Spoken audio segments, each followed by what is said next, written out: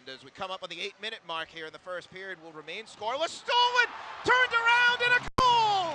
Jakov Novak!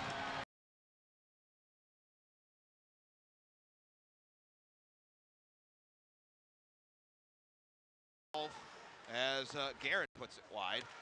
Brassard tees it up, shot deflected, second chance, score!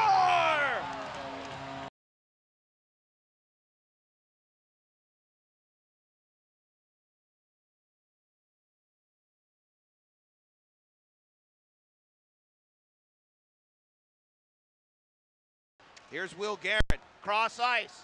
Zafanti pulls the trigger and scores!